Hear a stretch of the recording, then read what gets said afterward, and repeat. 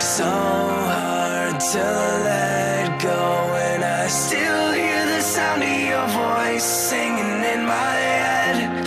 I can't surrender, cause the rope's slowly coming apart, but hanging